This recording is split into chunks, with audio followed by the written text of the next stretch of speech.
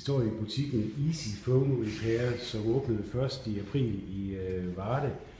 Og indehaver, det er Kesrav Amansai. Du er 33 år og bor egentlig i Kolding. Kesrav, hvad fik dig egentlig til at øh, åbne i Varde?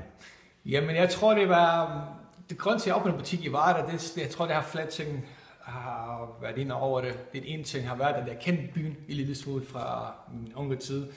Øh, jeg havde også nogle venner faktisk i Varda, så jeg har altid haft Varda, som jeg, jeg har altid haft en oplevelse af Varda, hvor jeg synes, det var en hyggelig by, en by, som man kunne komme ind og føle sig, øh, føle sig velkommen.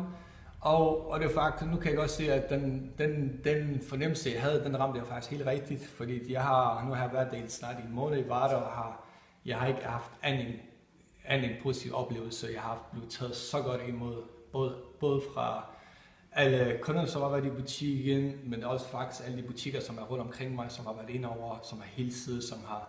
Så jeg føler følt mig, jeg har følt mig mere end velkommen til at være i Varde, og jeg glæder mig virkelig meget til at være en del af byen, og være en del af lokalsamfundet.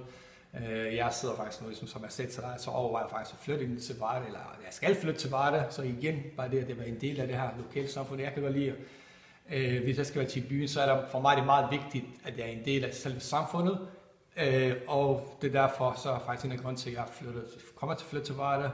Og jeg håber selvfølgelig også, at, at, øh, at forbrugerne og kunderne i Varde det vil tage godt imod mig, fordi det, de har tænkt mig at fortsætte med at være her.